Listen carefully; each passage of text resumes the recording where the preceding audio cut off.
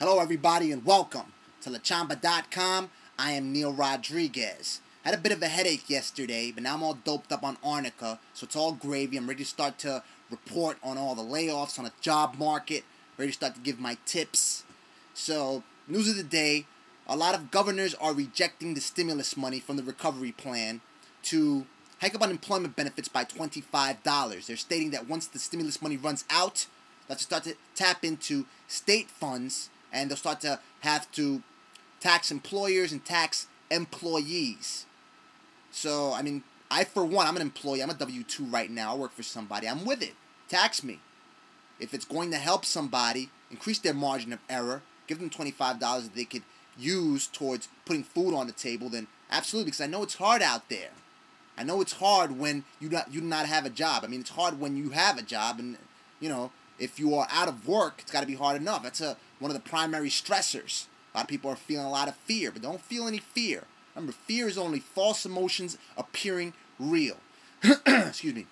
Don't have any fear.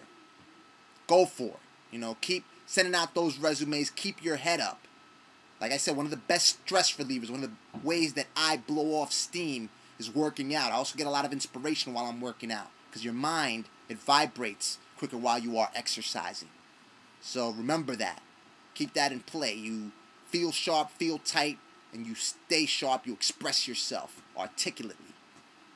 So, Fortunoff here in New York, I think they laid off about 300 people. I'm not sure if it was only in the New York area, but I read an article where they laid off 300 people, a lot of them corporate personnel. My career counselor, Barry Cohen, he's handling a lot of these cases, a lot of people that are being laid off from Fortunoff, so he's got a good handle on this vertical. Give him a call. You could reach me. You know where to get me. I am, or wherever, if you're from Fortunoff, he's got a good handle on that vertical. He can help you out. He does professional writing services and everything of that sort. I spoke to him today. That's how I got that information. He'll be speaking the opening for Suze Orman in April. I'll be there possibly. Hopefully everything goes well with that. And in order with you know, it's just about getting people to work, getting people cutting the employment rate one job at a time. All right, so like I said, Fortunoff just got a bunch of uh, just got a number of layoffs, and I was at a chat session today. I think it was with Adweek Media Connect. It's a new social network that came out for advertising professionals.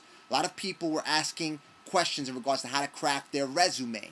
A lot of people have been out of work for about 10 years' time. Typically, you use, you craft your resume in a format called a functional resume that lists a profile of your work experience, of your skills and qualifications, of your background. A profile.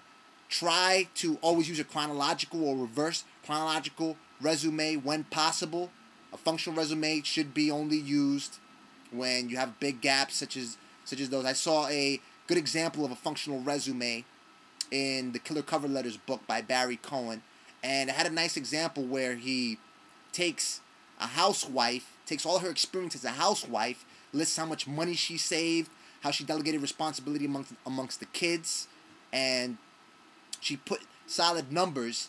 He put solid numbers next to every accomplishment, and showed how all these skills can be transferred towards the workforce, towards the uh, to the towards the position for which she was applying.